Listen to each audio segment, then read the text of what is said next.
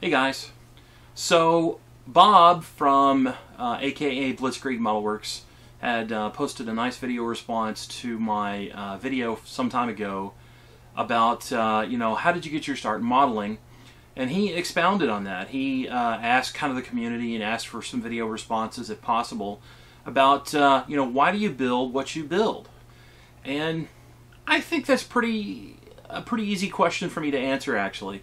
Um, I love tanks. I love stuff on the ground. Uh, you know, we all, you know, build, of course, um, what we like to build for our own reasons. Uh, I have, you know, a ton of aircraft models, you know, in the stash, and I'll, I'll get there someday, but I, I prefer armor. I prefer ground subjects in general, not just tanks. And it, for me, it's the history. Uh, it all comes down to the history. So, air power never wins a war alone. That may be controversial for some, but to me, it always comes down to the 19 year old private on the ground with a rifle.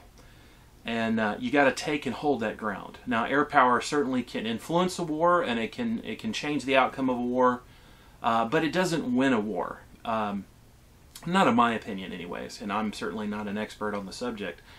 Uh, but I just love tanks. I love the they just look mean with the big gun and the turret and the sleek look. You know, even from the earliest uh, years of of World War One, these things just they were just awesome. It was the penultimate example of uh, 20th century and now 21st century uh, firepower, and uh, I just love them. Uh, and even the modern stuff, I in the past had um, modeled pretty much just uh, World War II subject. Stand branching out now more to Cold War modern era stuff, uh, much like the uh, Tamiya Challenger 2 that I'm working on now.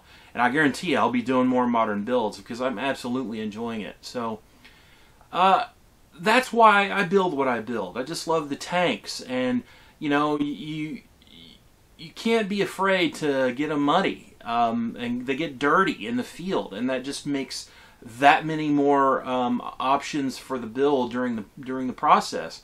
You know, airplanes by and large, for the most part, got to be relatively clean, other than maybe some oil stains and some minor pitch, uh, paint chipping here and there. But they got to be clean because things have to, you know, be in the air, and you don't want anything to impede airflow, and that would somehow uh, restrict or, or prohibit or retard rather the performance of the aircraft um, while it's in the air. So uh, it's just all the different possibilities. You know, the, this all these things that you can do um, with a tank build and all the diorama possibilities. Um, and I'm not saying that um, there aren't other diorama possibilities with other genres. It's just that to me, this is uh, just what I enjoy doing. And in the past, I have kind of leaned towards you know World War II Axis subjects, and I still got a ton. Don't worry, I have a bunch, and I will build a lot of them at some point. Uh, but I, I'm, I'm digging the the armor, the the modern stuff too. So, uh, but guys, uh, that was this is really just kind of a short answer to uh, Bob's question, and I certainly appreciate him uh, posing that to the group. And I hope you enjoyed my brief answer. Everybody, take care, and I will talk to you later. Bye bye.